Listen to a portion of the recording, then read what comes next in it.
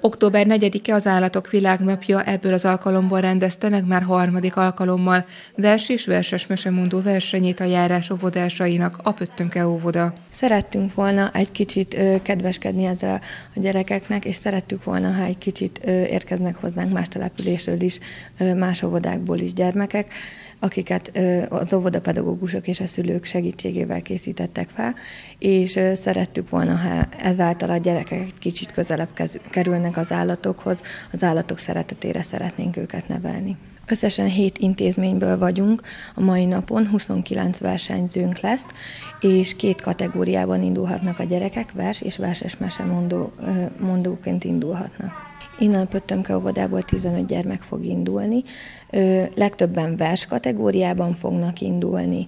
Van, aki a csacsiról mond, vannak, aki például a török és a teheneket mondja, mindenki, mindenkinek az óvodapedagógus a más szempont alapján választott. Úgy szoktuk ilyenkor kiválasztani a verset vagy a verses mesét, hogy a szülők segítségét is kérjük, hogyha a gyermeknek esetleg van kedvenc meséje vagy verses meséje, akkor nyilván azzal indulhat, mert azt nyilván könnyebben meg tudja tanulni, vagy van, aki már alapból tudja, és úgy nyilván könnyebb dolga van a szülőnek is és az óvodapedagógusnak is, de egyébként az állatokról szóló versek verseket és verses meséket könnyebben tudják memorizálni, hiszen közelebb áll hozzájuk ez a világ. A versenyzőket Molnár István logopédus, Skorce Flóriánné nyugdíjas könyvtárigazgató és Kisné Magyar Mária tehetségfejlesztő zsűrizte.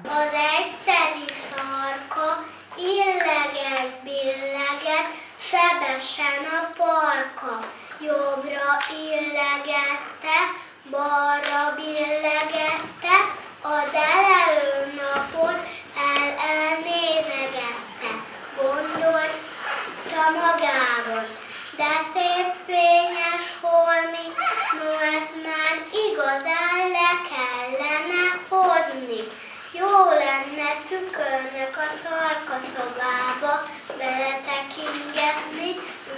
claro. Vers kategóriában első helyen végzett Galambos Eszter Dormándról, Gácsenge második helyen végzett a Pöttömke óvodából, harmadik helyezést ért el Forgás Adrián Dormándról, külön díjat kapott Blikárd Virág a Füzesabonyi Hétszínvirág óvoda és bölcsödéből. Verses mese kategóriában első helyen végzett Pankotai Benyámin a Füzesabonyi Pöttömkéből, második helyen Kolozsi Léna Nagyútról, harmadik helyen Fehér Léna Kálból. Külön díjat kapott ebben a kategóriában Szabó Nimród, aki Egerfarmusról érkezett a versenyre.